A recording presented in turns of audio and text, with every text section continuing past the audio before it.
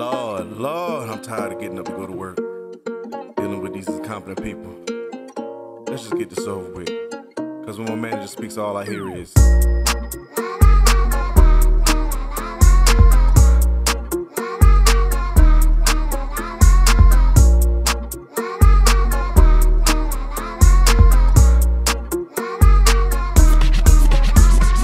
Work 40 hours every damn week, paid that, so that's why I speak. On the plantation is where I stay, dealing with incompetence every day. I got me a manager that don't know ish, so what when she want ain't that a bit? It's always nonsense every week, so this be what I hear whenever she speaks.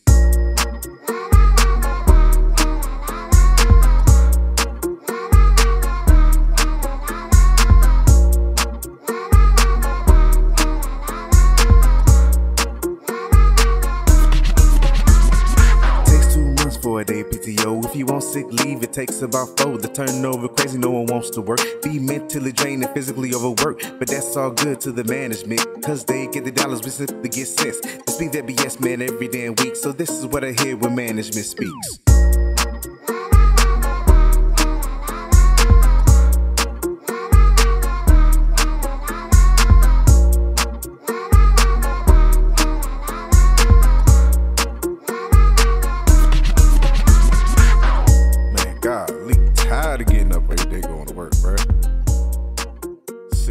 All this for pennies and they getting dollars. Making this damn bread and water money.